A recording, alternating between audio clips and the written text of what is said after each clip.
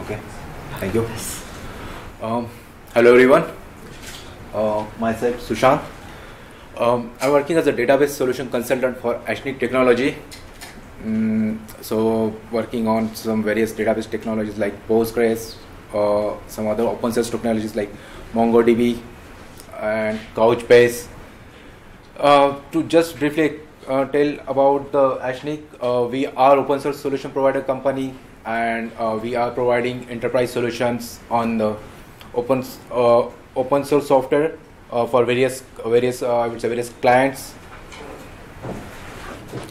And about the topic, uh, so I'm, today I'm going to talk about the PostgreSQL uh, deployment on Amazon RDS.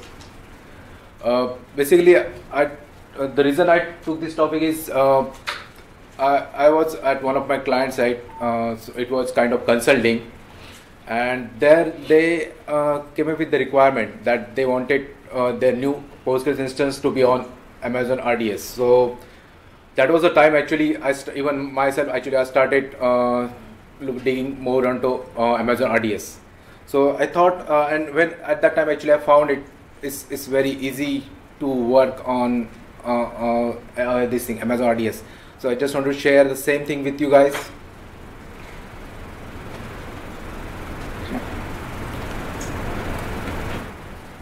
So the agenda for this talk is uh, first uh, I will talk about the challenges uh, which we have been facing for maybe last few years and the solution which was provided by RDS. So when you are moving on to Amazon RDS or when you are using deploying your Postgres instance on the RDS, you can overcome those challenges and what are the benefits. So why the customer would, uh, would want to move on to the uh, Postgres, the Postgres instance on the RDS. So I will also talk about that as well. Uh, so the guys who has been working uh, on as a as a DBA maybe for last 10 15 years so the, they might be aware that uh, like a like a decade back uh, we had databases or the or the server uh, which were deployed in in-house data centers and then we will have our DBA team or the in-house DBA team which who will take care of those databases so while we are deploying those servers, uh, those servers will have some limited capacity uh, in terms of number of CPUs, number of uh, amount of memory that you can allocate, and the storage as well. As well. So, so there was some limitations, and uh, when you are planning the servers, at so during those years when you are planning the servers, you used to plan. We guys used to plan uh, as per the business requirement, considering how what will be the database growth or the business growth in the next three to five years and after five years if during if that particular your uh, your estimates if it goes wrong and if your growth has come up within a, two years so your server usually it will start responding slowly because the cpu or your uh, resource level limitation has reached earlier than you have expected. Then it will result to some new upgradation. You will have to do some upgradation. You have to move again you will have to plan for new storage or new server and it is it was not easy during those year, years. Because you will have to there was a procurement process that has to done. There was uh, it will result into some new kind of upgradation project. So there will be some separate team that has to be established who will take care of setting uh, moving this existing infra into some new hardware. So it was a time consuming process. And the time taken for upgradation usually it, it was also more because time taken for upgradation or uh, would I, I would say for migration as well. And when it comes to debating there has to be there used to be like you have to have separate DBA uh, which would have some uh, expertise on a particular skill set. Like uh, for there has to be some DBA for the Postgres or maybe uh, some other RDBMS which are there in the market. And those they will take care of only those particular uh, uh, I would say the technology so that so that you you were not able to use the your DBS for uh, I would say extensively some other or other RDBMS. So when you are going on the RDS Amazon RDS, so the benefit is that uh, you are doing a deployment by using a web-based access control. So it is a web-based console through which you will uh, do the deployment. It is a like a graphical user interface and uh, even for a junior DBA maybe or even person who has basic knowledge of the database, he can do the implementation easily just by just logging onto the screen. Uh, even I try to keep my slides uh, more with the uh, with the images because I'm not that good explaining those those things. So maybe my my slides will talk for me.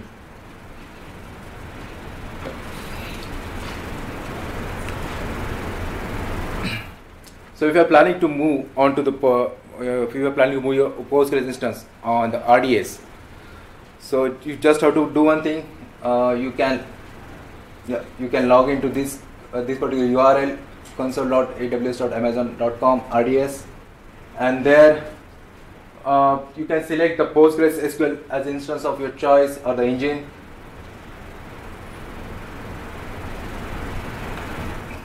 And then it will take you to the next slide. So as you can see, it's, it's very uh, interactive. You just have to, the instance engine is like Postgres and uh, you can select the version of your choice. The current version those are available are starting from version Postgres version 9.3 to the latest, latest version uh, Postgres 9.6.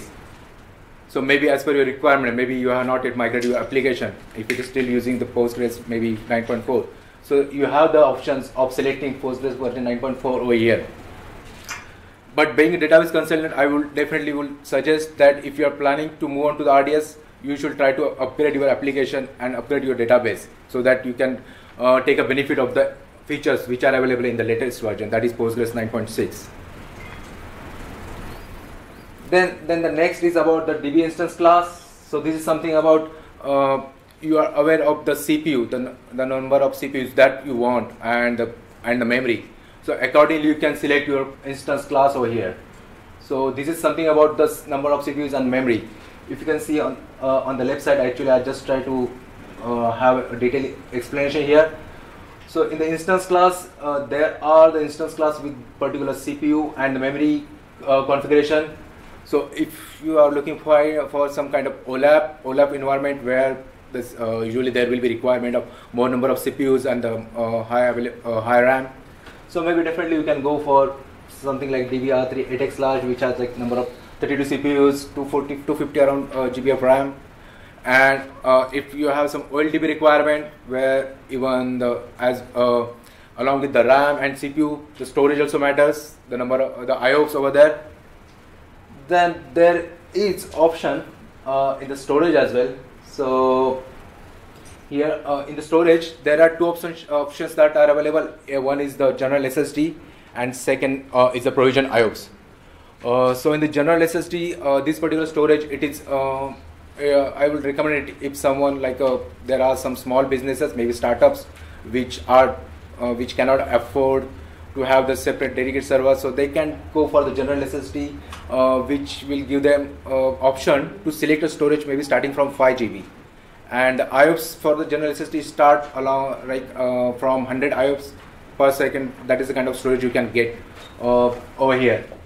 Whereas for the business, uh, like uh, maybe financial institute or maybe some other uh, highly transactional system, so there definitely you can select something. Uh, there is the option provision IOPS.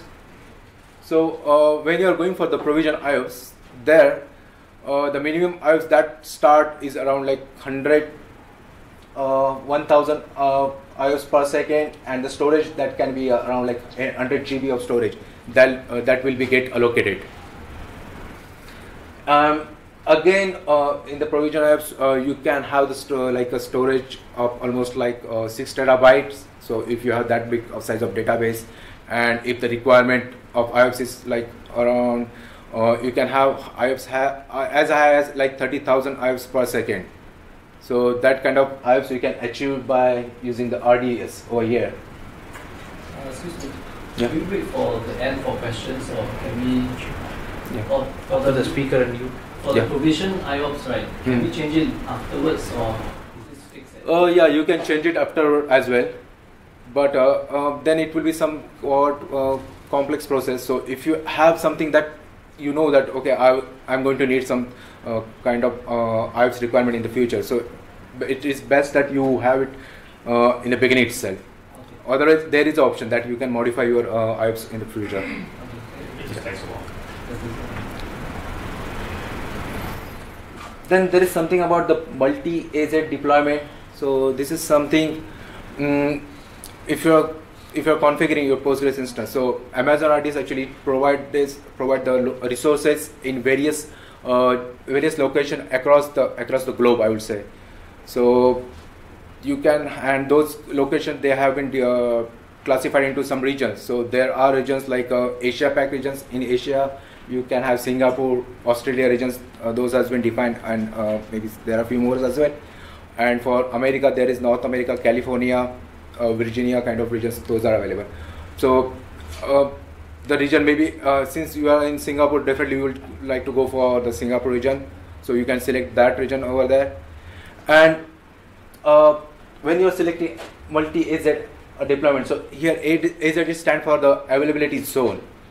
So when you are enabling it, uh, you will have some uh, synchronous replica. So there will be a replica that will be generated, uh, created in the backend, and it will be a synchronous. So the synchronous, uh, when I'm saying uh, synchronous over here, uh, it is the storage levels replication that will happen. So Amazon has the very strong storage level replication, and that that can be synchronous. but yeah, one, one, one thing here, just keep in mind uh, that this particular synchronous replica, it won't be available for read only, uh, like it won't be uh, read replica.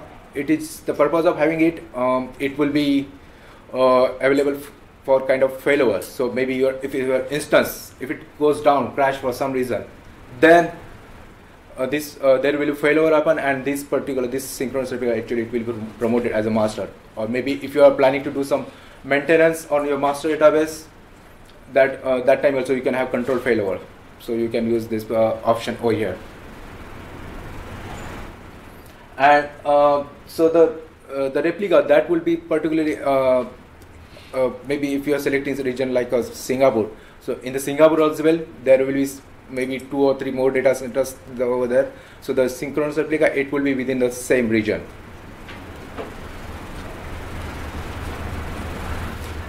Yeah after that again it is interactive so you have to specify the, your cluster name over here. Then you can specify the, your operating system or your superuser name here and the password. And then you move on to the next slide. So this is something about about your network security. Uh, since you are implementing amazon uh, your postgres instance on amazon rds so uh, the by default the uh, security group available or the virtual private cloud group available is a default VPC. And then uh, you can select option whether you want your instance to be available publicly. So when you are selecting as a yes, so uh, you can access your instance maybe from outside the uh, cloud as well. You can configure that that as well. So uh, this particular actually the network security it will define the inbound and outbound rule so that you can control the inbound traffic to your instance. So it is a kind of firewall to ensure that only the authorized IPs they will be able to connect to your server.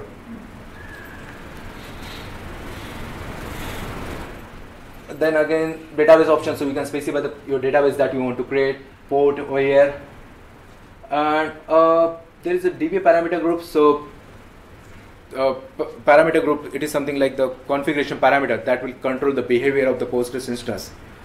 So uh, you have the option to have your customized parameter group here, but if you are not doing that, uh, the default will be selected as a default parameter group, and you can configure your instance accordingly. Uh, you have option in the future as well. You can have your customized parameter group. You can create your uh, customized parameter group, and you can assign then to your instance for uh, maybe to have some more optimization. Yeah, you can also do the encryption over here. See, uh, backup. So backup configuration had, has been made very easy. So for the DBA who has been working uh, maybe uh, through, through PuTTY, they might be aware that it was not just related to administration, the implementation.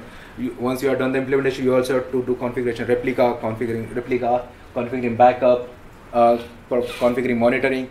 So that used to take a lot of time for DBAs. But because of this, it will help them to save that time. So you, you can just select your backup retention period here. And Uh, so it start from seven days, and I guess you can maintain the uh, maintenance. Uh, you can maintain the backup for almost like 30 days. And you can select the uh, backup window here. So you can specify the time, maybe as per your business requirement, or you can specify the off-peak time where your backup can start, and you can specify the duration for which it should be allowed to run. Yeah, and then there is the option for monitoring. Uh, yeah, you can select the monitoring. You can enable the monitoring, and it will enable the uh, I will say the very good graphical uh, uh, reporting or the monitoring tools. So that we will see in the next slides.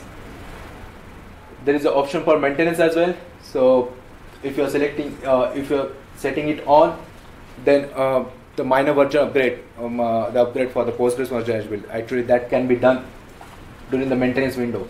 So that and that will be automated. So uh, when you are specifying the maintenance window, so maybe I just for example I set it as Sunday and the upgradation. So if there is any patch, that has to minor patch upgrade. Yeah.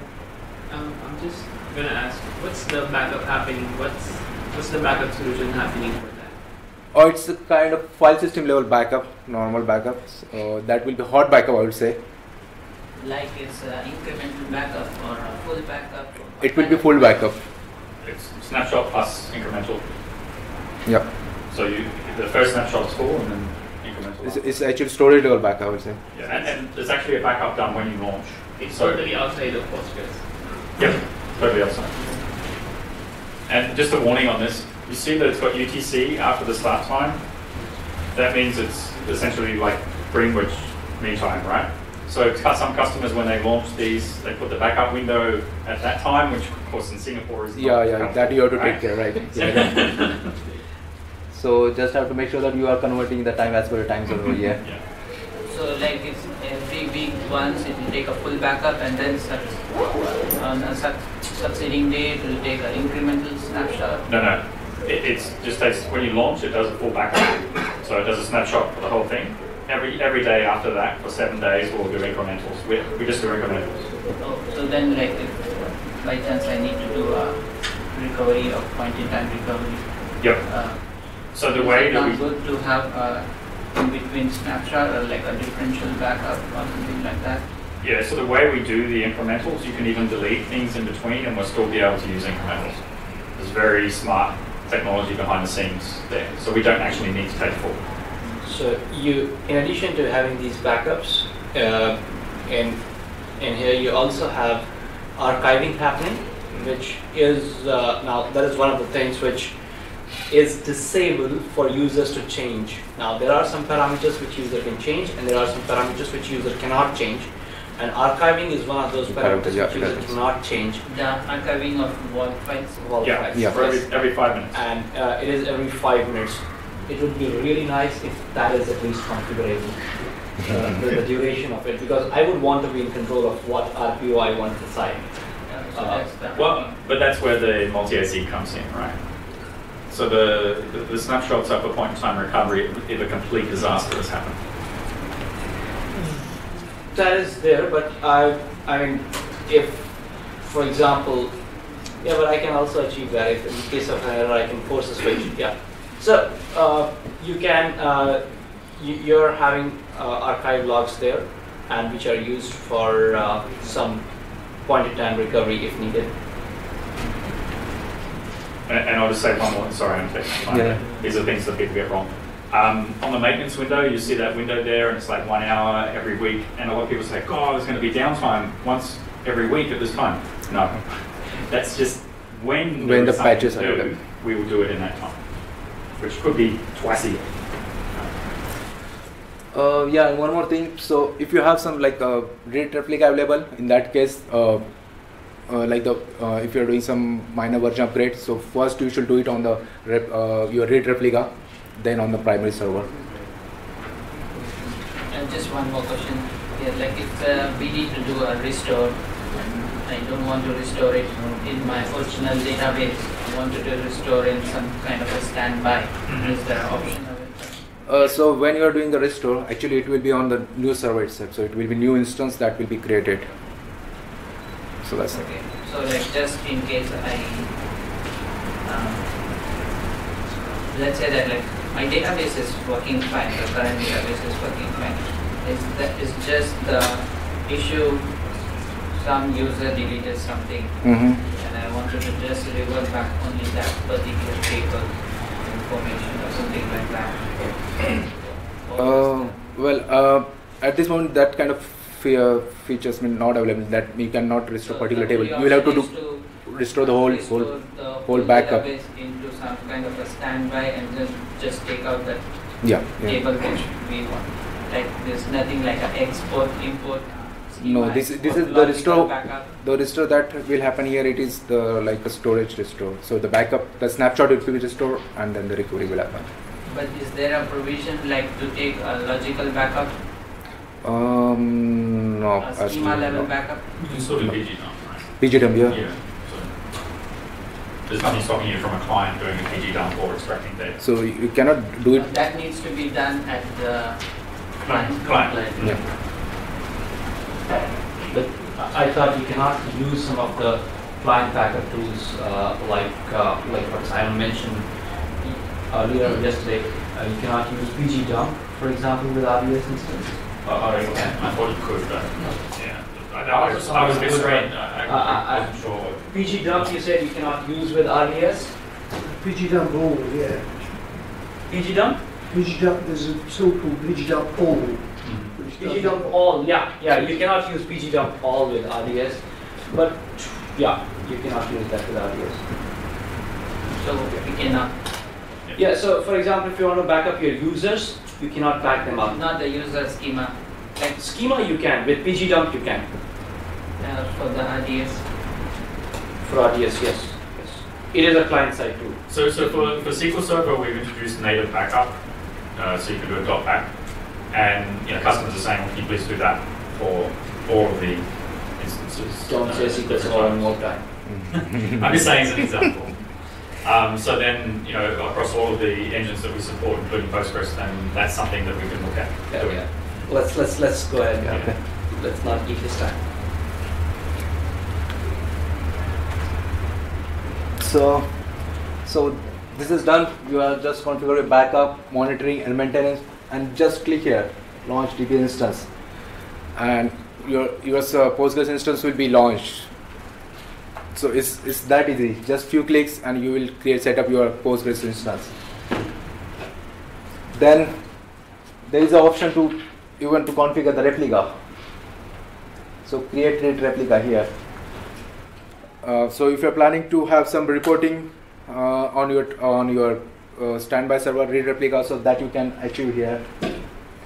Uh, and the the option available with the read replica is that uh, you can even select the storage for read replica. So maybe if you're selecting like provision IOs for the production, but for standby, you can still select the general SSD.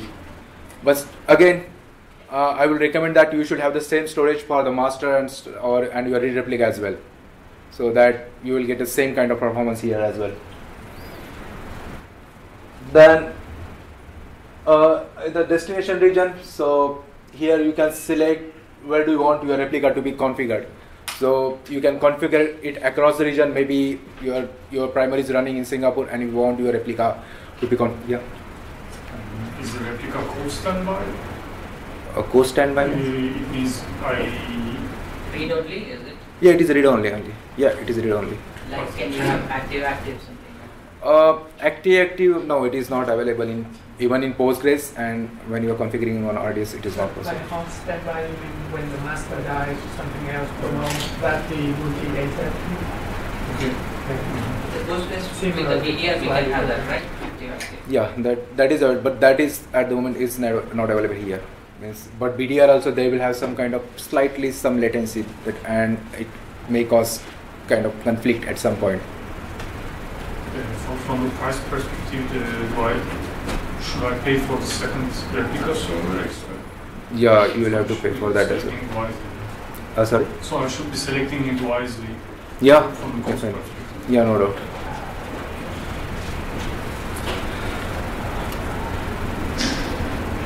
Yeah. So you can select the region. Maybe you, if you want, you can configure a replica in some some across some other region as well. then about the parameters. So once you have configured your instance and if you want to have some customized parameter here, uh, so that also you can do. So if you want to change maybe uh, your auto vacuum uh, analysis scale factor or maybe your uh, checkpoint completion target or maybe uh, log duration min statement. So you can do that and you can customize your parameter as per requirement. And just have a look. So monitoring, it has been made very easy. Uh, so you can have the graphical representation. Uh, it will give you the nice view of the CPU utilization at the your server level. Then the number of connections, uh, those are connected at the database level. Oh, sorry, at the instance level, I would say and even write and read IOPS so that also can be viewed through the graphical uh, dashboard.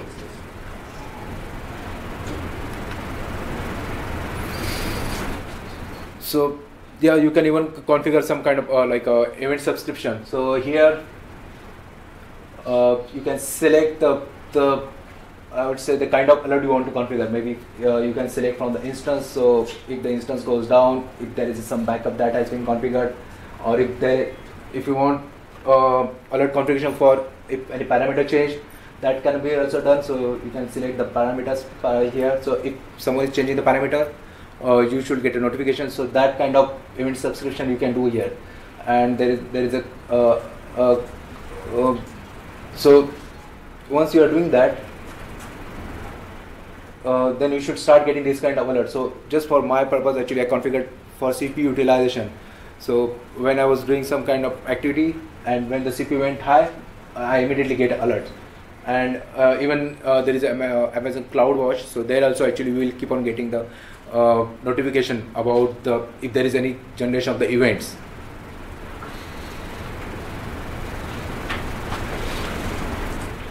So this is the CloudWatch so here as well you can get a history about the uh, the alerts which are getting generated and even about the history.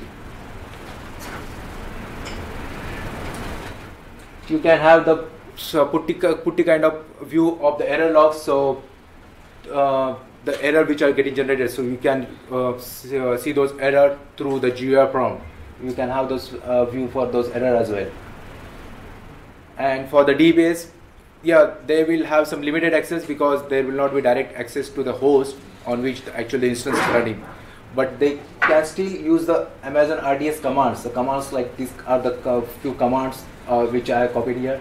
So you can uh, even create a DB instance. If you want to create a replica, that is also possible. If you want to modify some parameters, that can be done. Uh, you can even do the point in time recovery of your instance. So these are the very uh, few parameters or the commands that can be done but those are the AWS RDS commands. So from the benefit perspective definitely uh, it will reduce it will help you to reduce the cost for infrastructure. Definitely because when you are having your own hardware with the CPU definitely you have to pay more. Here you will pay as per your uh, resource consumption so if you are using just like uh, if you are going for general SSD, you are selecting some particular kind of storage or memory, so you will just pay for that. And yeah, if you are going for the provision IOPS, definitely you will have to pay for the provision IOPS because that is something that has been allocated for you. So you may not be using the all uh, provision IOPS or the provision storage, but still you will have to pay for that. The patching, yeah, patching it is it is automated. You, it will be done. It will be taken care by you no need for the DBA to be there available on the weekends. They can just do a no, they can just look at the on a notification.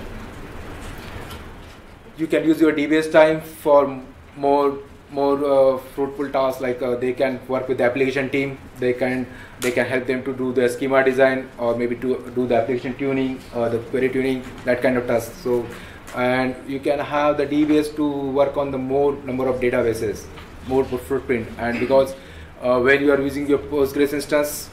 Mm, so the kind of the uh, expert is required. So that that is not that, that much. So even the junior DBs actually they can take care of those things. Yeah. So no additional skill set required. They should have basic knowledge that that even that will be helpful.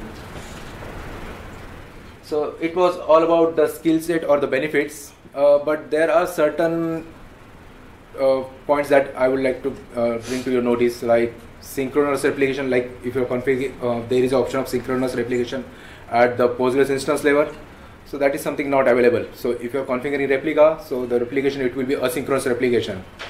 So if you are thinking that uh, you are doing some transaction on the primary and if you immediately want, it will be it should be available on the standby side. So it you may not achieve that.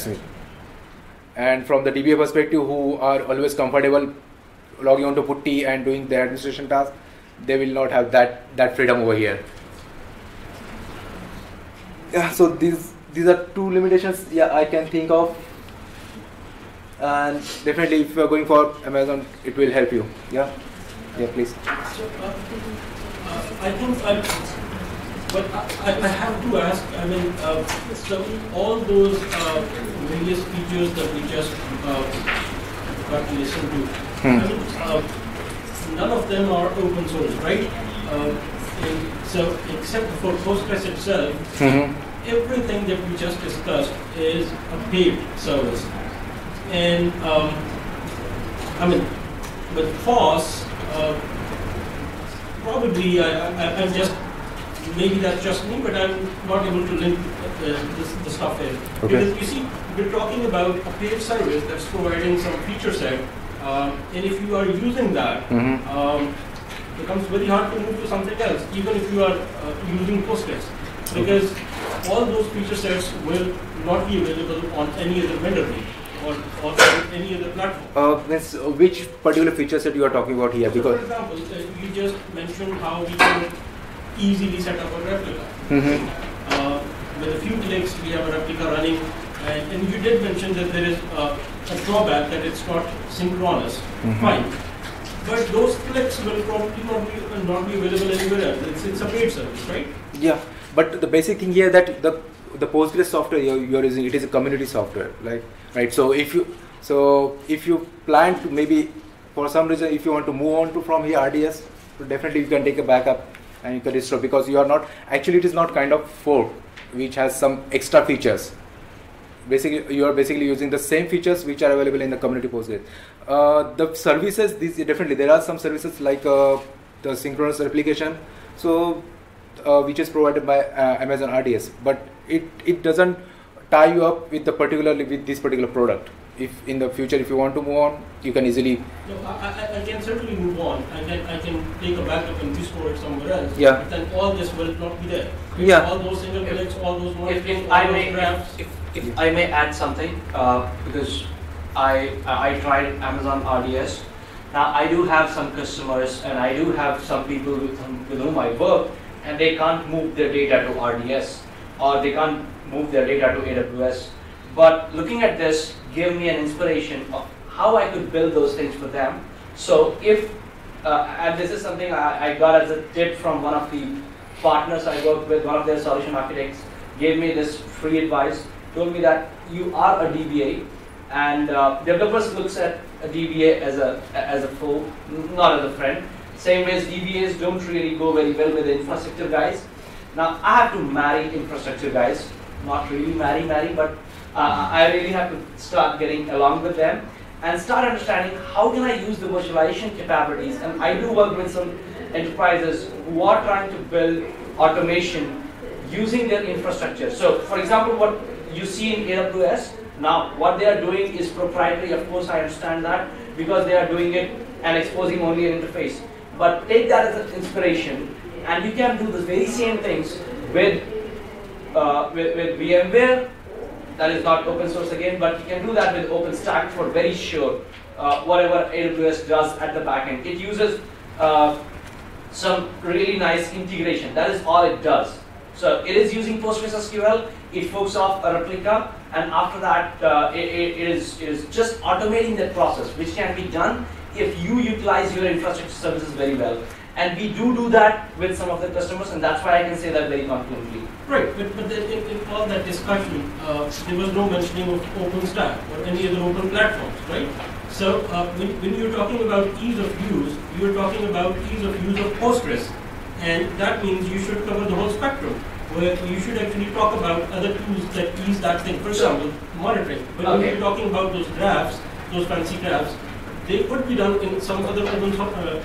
So, was there a question or is there a feedback for the speaker? So, if Yeah, there is yeah, feedback, I- I he, he would take that. If it's a question, then he he will feel an urge to answer. So, if it's a feedback, he will just take it. If it's a question, then he will have an urge to answer it. Right, You- so- you get what I'm saying, so- right? So the point here is that, I mean, people uh, listen to all that and they are persuaded by certain uh, certain things that, that are mentioned in the talk, right? So uh, it is possible there are people who are looking for only open source, uh, open source solutions, right? So uh, the talk should actually cover the whole spectrum and if, if it is about, talk, it's talking about these issues, right? Sure, sure. And how, how you cover the monitoring part and how you can customer Sure, or sure, track sure, all So. I, I guess yours is not more of a question, it's a feedback. So he takes it as a feedback definitely. uh, for his talk. I take it as a feedback because I selected the talks. So I also take it as a feedback. Yeah, I- I'm And, coming and, and, from and the to close the close the loop for everyone's knowledge, whatever AWS does in in their Amazon interfaces, where it makes that replica creation or the the backup creation easy for you, you can do all that with a little bit of engineering by putting all that logic in OpenStack or, or with Docker as well. You can do all that with containerizing uh, your database. Good that Devrim is not here; he would have killed me for that. But Mhm. you can uh, also run it uh, as a container uh, with a volume. Now Dockers do support volumes, so you can run it as a, as a database in a container, and you can do that uh, pretty easily. In you just have to Right, spend a lot of effort engineering it, but after that, life gets quite easier. right. So, so, so that does mean that this, this is not the only solution. Yeah. Yeah, this is not a. This is one of the solutions that actually. uh, for bringing it Right. up. So, Thank- Thanks for bringing that so up. I mean, going, going through that whole talk, it appeared like that's um, the, the impression that I had at least. And then coming from the FOSS point of view, I mean, at least the spectrum should be covered in some way. So it's it's yes more of a feedback uh, because sitting here, uh, what the, the way I perceived it, it's it's more like a feedback. Yes. Okay. I think not whether it's- Is there any sort of load balancer? Sorry, Yeah, yeah, you can. Is there any sort of load balancers on top of RDS? Uh, there is as such uh, there is not available from the from the I would say Amazon RDS. So uh, if you're configuring, you you can use some application slash site uh, load balancer. Like So if I have a cluster with one master and a couple of replica, Hmm. How to distribute the load uh, among the rich replica is on my own. yeah, yeah. So there, I guess there are to HA proxy kind of tools. I think. Yeah, but again, you have to be very careful, like what he said, uh, it is not synchronous replication, so you cannot be sure about what you're reading. It, it might be stale data. Yeah, which is the same for all sort of replicate. Sorry? Uh, which is the same whenever you have a cluster. No, not really. In Postgres 9.6, you can have read consistency on the replicas. So you can say that my read replicas are consistent with my master. So when you read, you are very sure that you are reading the latest data. And you can say that multiple replicas are read consistent. Uh, yeah, by making the replication rate uh, synchronous. yeah. Yeah. Uh, how, how much does the uh, Amazon uh, AWS take the responsibility of the compatibility with some compliance uh, regulations? For example, if I use, if I decide using the RDS, does it some, does it somehow give uh, compliance with uh, PCI? Just, just for records, he's not from AWS. Yeah. So uh, yeah, So I I maybe yeah, you can answer this question. Because just about the features of Postgres. Uh, if it's a short answer, you can, can add that, but if it's a long answer, Yeah, it's a short answer. yeah. okay. So we, we publish all of the, uh, all of the uh, things that we've gone through in terms of ISO standards, uh, PCI DSS, um, HIPAA, etc. Uh, so they're all by service and they're published on our website. So depending on what you need, just you can go and check. It changes all the time because it's basically every six months cycle. Yeah. Thank. Just one last question. Um, like we talked about the patching. So uh, when we say like that, uh, I, I want my database to be patched, like, and it feeds the DBA. So at the Amazon level, whether it is really automated process, like nobody does that. And, Everything on RDS is automated unless there's a support issue. Okay. So it, it really is, it's purely automation. That's what RDS is about. So it's like something like DevOps. Like, It's totally about DevOps. So, uh, do I get any notification before, let's say, some patching is going to happen? Oh, absolutely. So if we're going to do, let's say there's a um, security issue that we need to take, and a couple of the Postgres versions have some security issues that we need to take off and make unavailable. Um, so you- you'll find we'll give notification with around a month plus that we're going to do something. And do I have the option to, let's say, I, I don't want to. For security, no.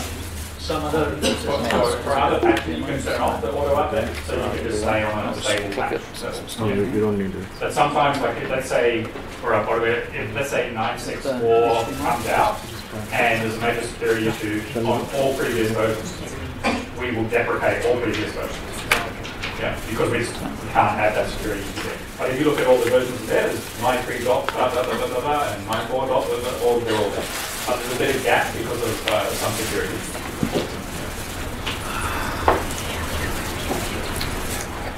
All right.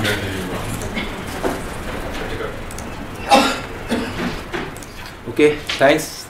Okay, guys. Uh, Thanks for your next session is uh,